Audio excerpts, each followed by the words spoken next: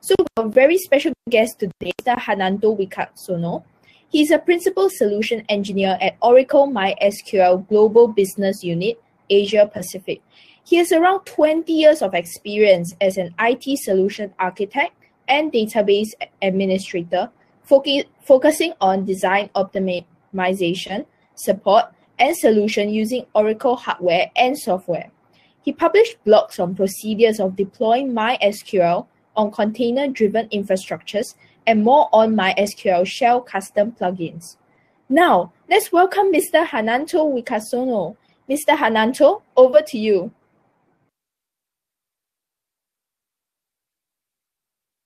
Hi, Mr. Hananto. I think you're muted. Okay. Yeah. Sorry. All right. Okay. Good afternoon, everyone, and thanks for your time and interest in attending my session. So uh, this session will explain about MySQL shells and its functionalities, utilities, and more. Interestingly, um, I would like to explain about uh, shell capabilities to do many, many things dealing with MySQL database. Uh, despite of having a lot of functions in MySQL shell that can help both DBA and uh, developers dealing with MySQL database, these tools provide extendable framework that enables people uh, to create their own custom plugin using either Python or JavaScript, and they can inject their own uh, new set of commands into the shells um, and use them. So uh, for me, I'm excited uh, to share all of these uh, shell capabilities, uh, as well as how to do coding, the custom plugin for anyone, for everyone who interested in using this shell and coding the plugin for extending the shell functions uh, to meet uh, your requirement. So uh, this is my motivations of giving this talk. So this is the safe harbor statement from Oracle. This is about me. So yeah, basically I'm a database architect and experienced in both the Oracle database and MySQL. And uh, I consider myself as a DevOps and database uh, cloud native believer. And uh, I love uh, coding and scripting. I easily get fascinated uh, with uh, math and physics. And these are my tech blogs and GitHub where I share my workshop materials, coding for my Kubernetes operator, and coding for some custom plugin for MySQL shell and much more. Okay, what is uh, MySQL shell?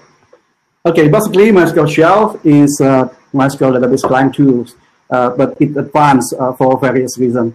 As a database tool, uh, MySQL shells is used for DMLs and queries against MySQL database. It's also a code editor for development with MySQL. It has XDev API that enables developers to use MySQL shell to create programs on JavaScript, Python, or SQL, dealing with both relational data and unstructured data formatted in JSON document. Uh, you can use MySQL shell, uh, sorry, MySQL database as hybrid database, uh, not just for relational database, but also for NoSQL database. So you can use JavaScript or Python for CRUD statements against uh, the NoSQL portions of MySQL database. More than that, uh, MySQL shell has admin API uh, that helps DBA, MySQL DBA, dealing with uh, InnoDB cluster provisioning, managing life cycles, and so on as well as the load dump uh, that helps the DB also uh, in uh, to do a logical backup and recovery. Okay, this uh, MySQL load dump is basically uh, an, an advanced uh, logical backup and recovery to replace the traditional MySQL dump. So we will talk a little bit detail later on. All right, these are some of uh, functionalities in MySQL shells. So as a client tools and a code editor, uh, MySQL Shell provides an interactive client execution mode uh, when you can type a command and enter. The statement will be interactively uh, processed and printed on screen. So it supports Unicode text input and color terminals for better look and feel. And it supports multi-line code enabling uh, MySQL shell to catch a multiple line and execute that as a single statement. So um, MySQL shell uh, supports batch code execution as well and that taken from different source and process, it, process those lines in a non-interactive way. So uh, script processing will be on single language, of course, and non-formatted output, unless uh, you put interactive parameter when you run the MySQL shell from the command line. Uh, you can use this to integrate uh, with external tool as well. So uh, the XDev API and Protocol X in MySQL Shell, yeah, uh, enables uh, the MySQL Shell to deal with the relational database and document store. So you can use CRUD for document store and SQL for relational table. So you can also format the output in traditional table format also using MySQL Shell. You can also format it using JSON. You can also format it using uh, type separated output. So later on, if you need to have CSV, then you can just easily uh, run the bash command uh, to uh, convert the uh, separated output into the CSV. It's very simple. So you can activate JSON wrapping for all output when you start MySQL Shell from the command line to help you to integrate MySQL Shell with the external tool. So I highlight specifically for extension and utilities in red font in my presentation slide uh, because these two are the main uh, central topic uh, of this talk. So uh, this diagram uh, depicts uh, almost all functionalities of MySQL Shell. Some of them we already discussed in previous slide. Okay, you have JavaScript, Python, SQL. They are the main language. Okay, once you log into the Shell terminals, you can log into the database and deal with MySQL database using JavaScript, Python, and SQL.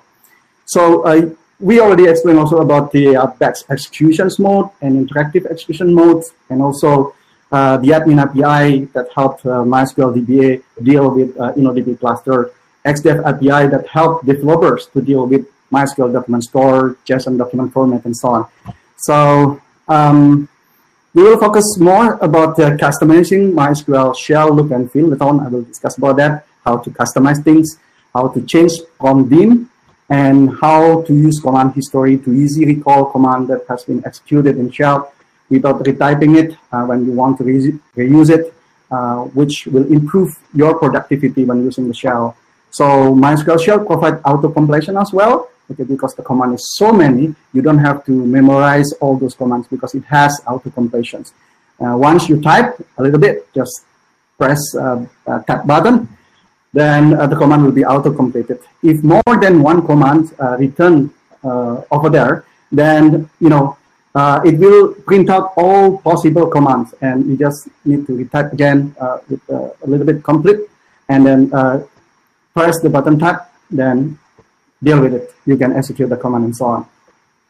So the MySQL shell also has a parallel import table for rapid data import to relational uh, table for large data set. It will analyze the input data and distribute it into a couple of chunks, and every chunk will have uh, its own session, okay, uh, and it has parallel connections to the uh, MySQL database, and it will complete faster than using a single threaded uh, upload. All right, it also has a uh, import JSON, okay, functionalities to import the JSON document. If the import tables, in importing the relational tables, import JSON is really related to the importing JSON document. So um, just sharing a couple of tips uh, to further to further speed up the import task. Uh, if your database is not in production yet, you can actually disable the redo logs or maybe disable the binlog if your production is not or is if the database is not part of the replication of group replication. You can disable the read lock, you can disable the read lock so that the it will reduce the IO uh, IO write during the import. So um, last but not least, um, MySQL Shell also has uh, functionalities to do a pre-check uh, for MySQL 5.7, let's say, before you want to upgrade, if you want to upgrade this MySQL Shell, uh, sorry, MySQL database 5.7 to uh, MySQL 8.0. So it will produce a report uh, about things that you need to change first in your MySQL 5.7 before executing the upgrade and so on. starting with MySQL Shell. So uh, MySQL Shell comes with uh, support on Microsoft Windows, Linux, and Mac OS uh, for 64-bit platforms. And please use latest available MySQL Shell versions, even though you have uh, lower MySQL uh, MySQL Server uh, version. So download MySQL Shell latest versions, okay, to play, even though your MySQL Server versions is way below. Yeah. Use this even for your uh, MySQL 5.7 with limited functionalities even. You can use it for MySQL 5.6, uh, but uh, please uh, bear in mind that not all uh, capabilities of MySQL Shell will be compatible with that. Okay, as you see on the screen, I have uh, installation, how to install Windows, Mac OS, and Linux. Okay, in Linux, we have RPM, we have tar, and we have the, uh, the apt as well. So uh, once you install that um, on your machines, then you can start MySQL shell uh, to connect to database. First time, uh, the MySQL shell will prompt format uh, in the default format, yeah, uh, and basic, yeah. And then shell mode is set to JavaScript. So to connect to the database, simply use a backslash C, C or backslash connect, then followed by the connection string formatted as user, at server name or IP address, and colon uh, database uh, port number. Then you will need to enter the password. And once uh, password is validated, uh, the shell will ask if the password shall be stored locally on MySQL shell home directory or not. It will store locally in encrypted format if you accept yes. So the next login using the same terminal it will be auto login and you don't have to provide the password anymore. So alternatively, you can also mentioning the password in your connection strings uh, in your as you see on the screen. Okay, uh, you can also uh, use connection strings uh, when starting the MySQL shell. So user at password, sorry, user colon password at servers and colon uh, the port. So uh, if you are not happy uh, with the default uh, prompt format from MySQL shell, then you pick you can pick one of the prompt format templates uh, from the directory prompt inside the MySQL shell installation directory. Uh, the prompt format uh, template, the, the, format template is the file is a JSON format. So you can just need to copy this JSON file to MySQL shell home directory as a prompt.json as you see on the screen. Then when we launch MySQL shell again, uh, the prompt format will be changed. The MySQL shell is really, really configurable. It relies on shell configuration that can be modified easily and persisted. So in order to show current configurations on the shell, we can execute command shell.option. So my slide shows the default configuration of MySQL shell. Default mode for the prompts is none, so that uh, once you log in, then it will go to the JavaScript. And uh, we also have the history.autosave that determine if MySQL shell will memorize the commands that have been executed if autosave is equal to true. Yeah. So the history uh, max size uh, will uh, determine how many numbers of uh, past commands yeah, uh, will be uh, stored in the MySQL shell command history. So uh, we can change the MySQL shell uh, current configurations by issuing command shell dot option dot set persist blah blah blah. So um, I give you uh, on JavaScript as well as on Python. So we have JavaScript and Python. Uh, a little bit different, but uh, do not do not worry because we have auto com auto auto completion. So yeah, auto completion will help you. So you can also change the the modes uh, between Python, JavaScript, and SQL as you see on the screen. It's very simple, basically. So um, we don't have to change the mode uh, from uh, JavaScript to SQL. Let's say if you want to execute SQL command on the on, on JavaScript mode, uh, because uh, what we can do is just uh, using backslash JS and then for uh, sorry backslash SQL and followed by SQL statement in order to execute SQL statement on the JavaScript mode. So it's very handy. You don't have to change the mode so this is the utilities on MySQL shell. So uh, you can use MySQL shell to perform logical backup and recovery against uh, MySQL database. Uh, MySQL shell download uh, utility on instance level, schema level, and table levels.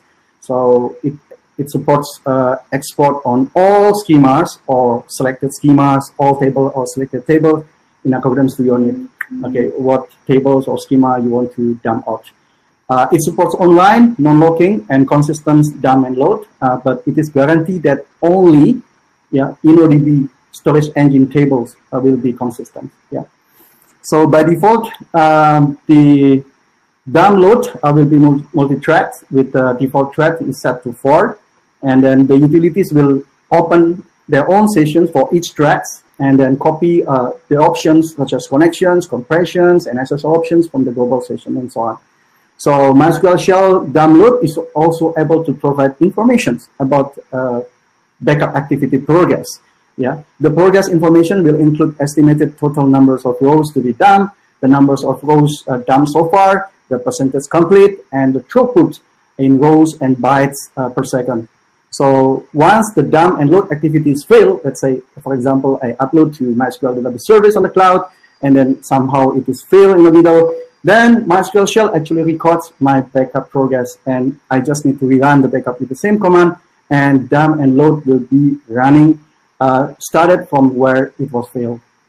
So it supports the backup on OCI uh, storage bucket as well. It is compatible with 5.7, and uh, technically can run on 5.6 as well, but with limited uh, functionalities. Okay, not all functionalities will be compatible uh, with MySQL 5.6.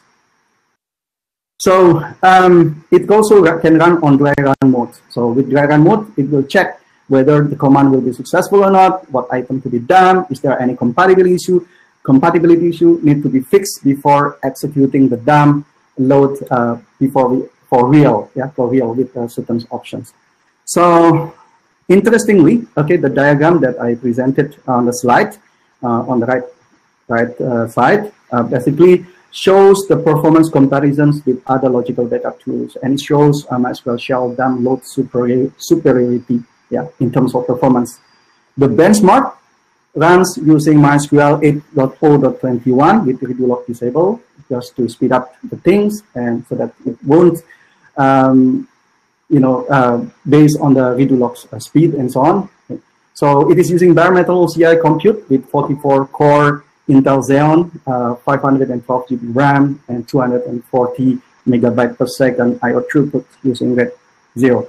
So uh, the testing shows a huge throughput uh, using MySQL shell dump load compared to other uh, logical backup tools in MySQL. So these are the commands in JavaScript and their corresponding command in Python and uh, to dump the instance and dump schemas and dump tables. And I've given examples uh, on the slide how to dump instance and put the dump files into the directory.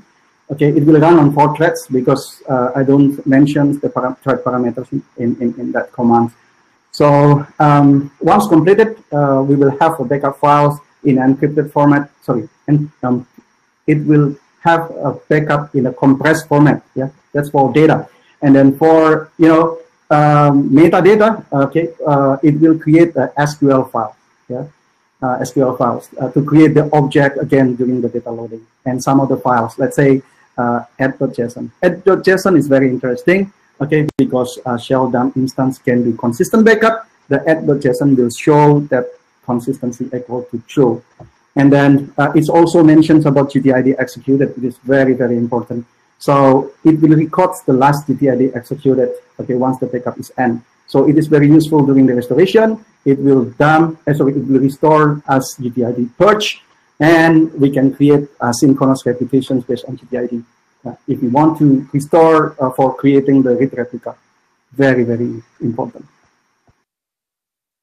So this is the example to perform dump schemas in JavaScript. Okay, we can put uh, array of schemas uh, that we want to backup and the backup location. For dump table, we can put arrays of tables and the backup location as well. And um, if we want to migrate the data uh, to MySQL database service, we need to use parameter OCI MDS equal to true. Uh, we need to use a strip definer parameter because MySQL database service requires specific privilege, special privilege to create database object. And then we need to use uh, strict restricted runs, okay, because we need to remove a specific privilege that are restricted by the MySQL database service from grant statements.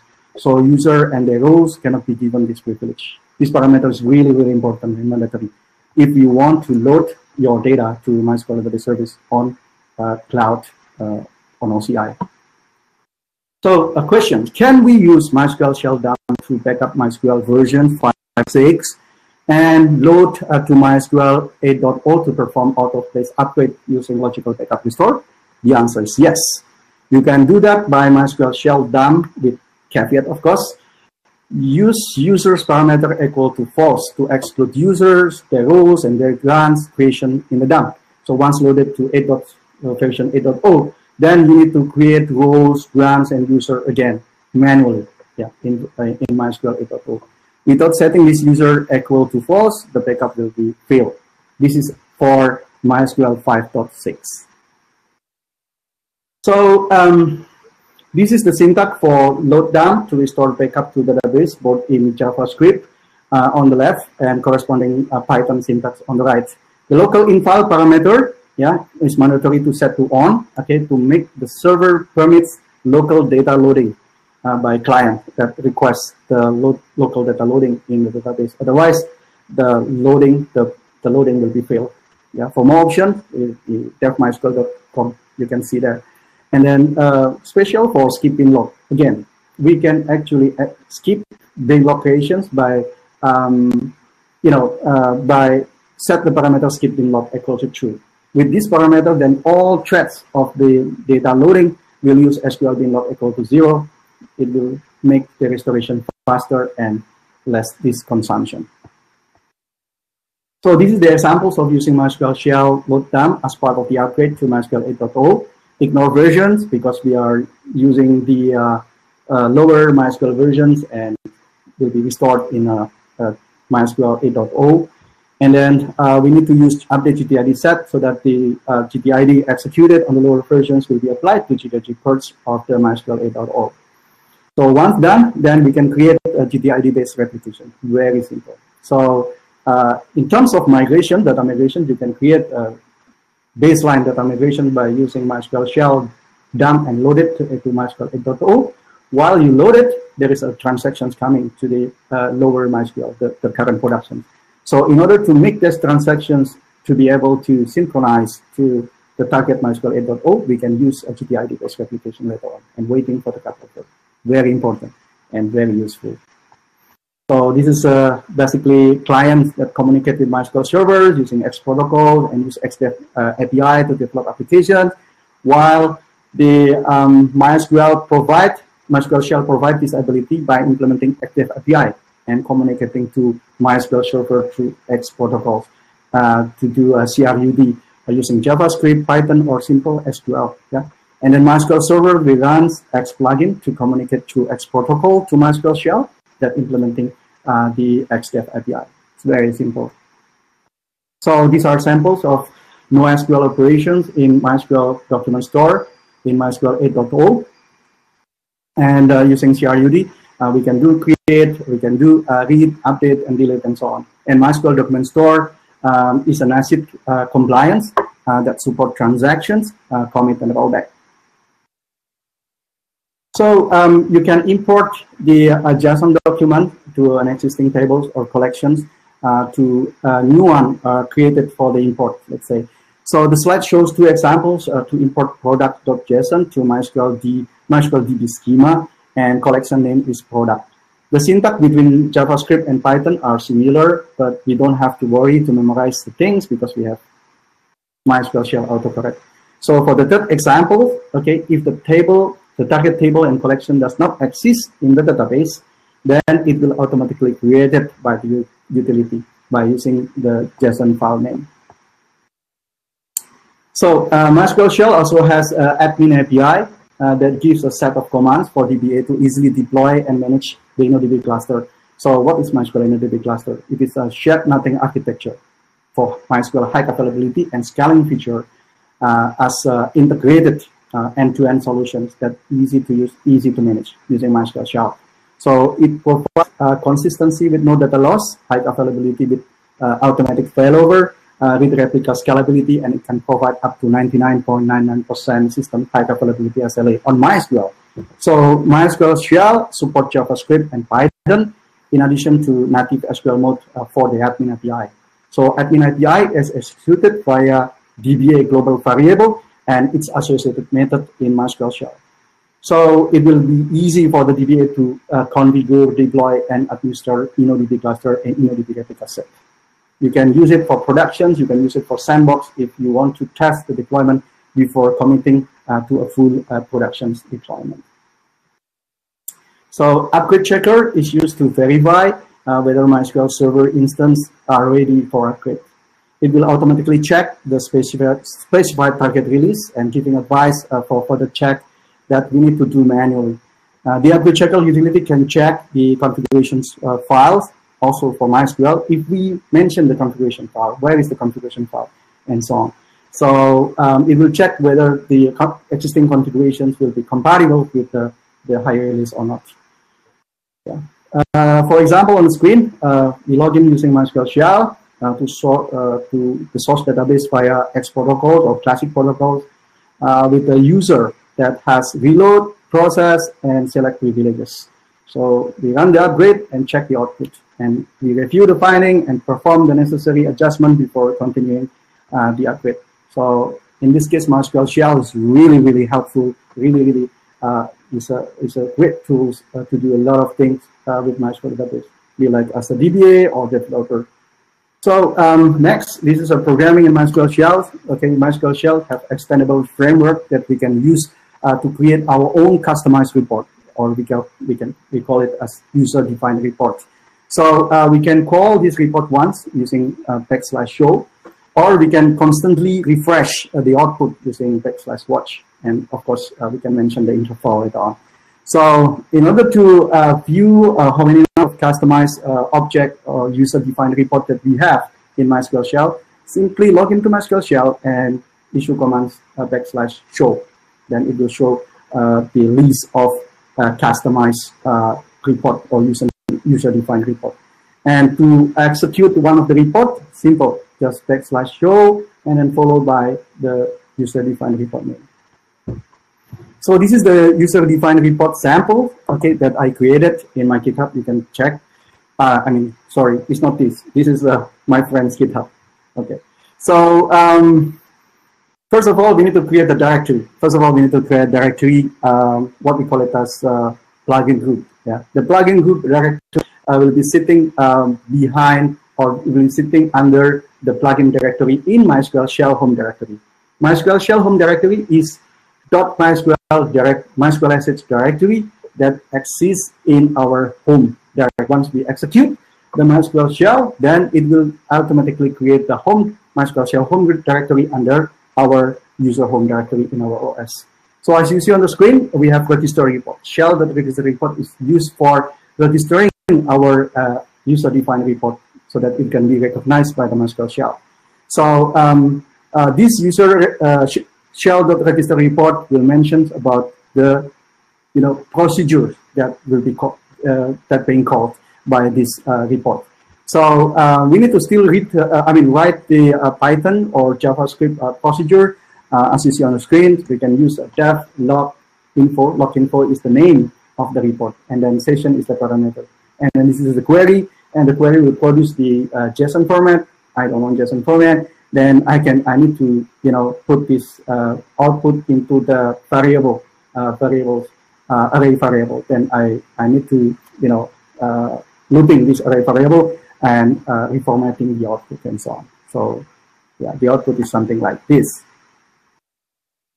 So uh, this is how to running report. Okay, we have backslash show, we have backslash watch, and we can put the interval yeah, the interval is number of seconds in between. Yeah, it's 0.5 means that every uh, uh, seconds, every half seconds, it will uh, show. So it also have no CLS that specify uh, the screen will not clear before refresh and so on, so that we can always refer to the previous result and so on. So the last one, uh, which is report.loginfo, is how to call uh, using shell method, yeah, using this shell functions. And shell is basically to get our current session, right? Because uh, we have this code, uh, we have this parameter called session. That means we need to parsing the session parameter. So get shell.get session is the procedure to get uh, current uh, session uh, that, you know, when we log in or connect to database. So this is the built-in report of MySQL shell. Okay, we have uh, threads, query, and thread uh, threads will, you know, report all the MySQL uh, threads available, whether it is foreground or uh, backgrounds. Yeah, and then thread we can specify uh, which uh, thread ID, which TID uh, need to monitor, and so on. And then query is just simple. Okay, we can we can put the interval also because we use a backslash watch. And as I mentioned about plugin group, uh, plugin group is like you know subdirectory uh, under um, .mysql sh slash plugins directory. Yeah. So as you see there, I have a couple of the plugin plugin group, uh, audit, extension, firewall, group applications, uh, Kubernetes, or uh, and so on. Yeah. So under the, this directory, uh, I will have the uh, what I call it as uh, init.py. Where is my init.py?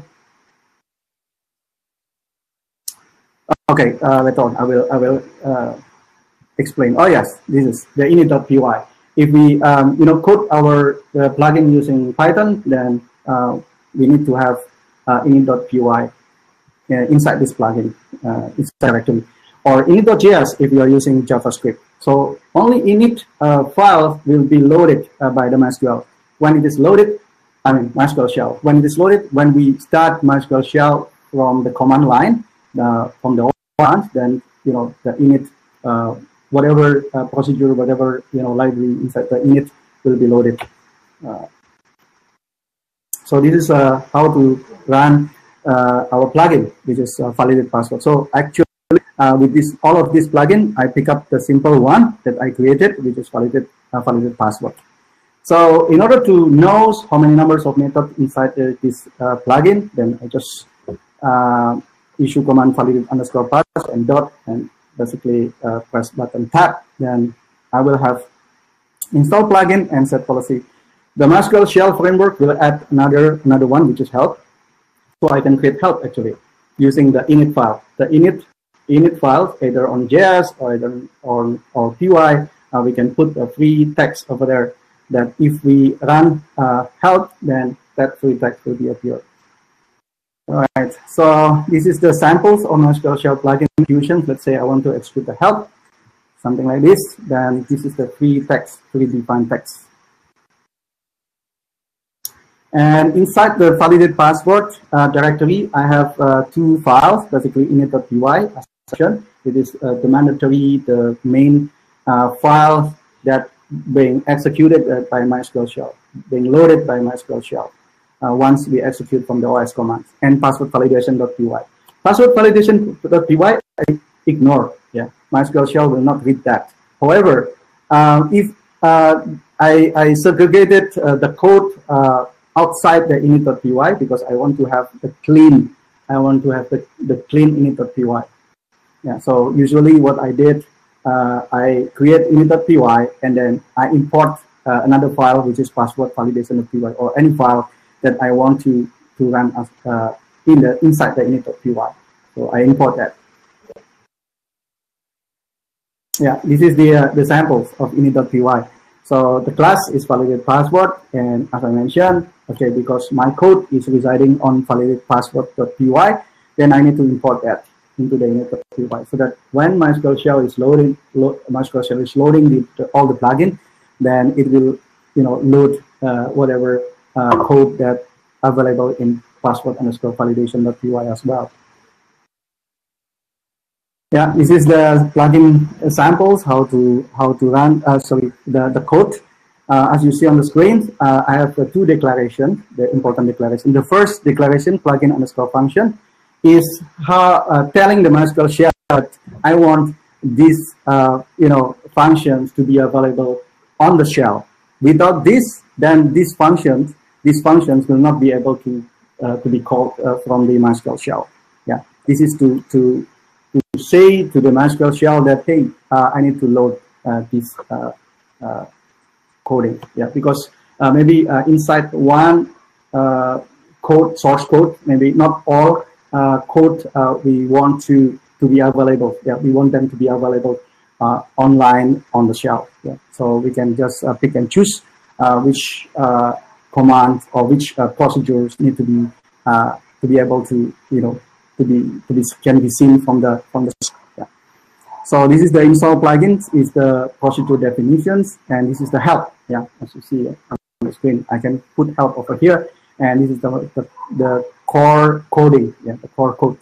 The same like this, okay, I have a function, validate password dot set policies is how the MySQL shell will, you know, expose uh, these procedures uh, on the shell.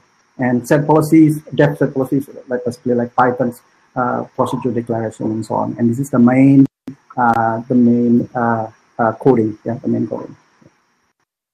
So this is how it runs. Okay, usually in MySQL, we can install plugins simple by install plugin, blah, blah, blah, and so on.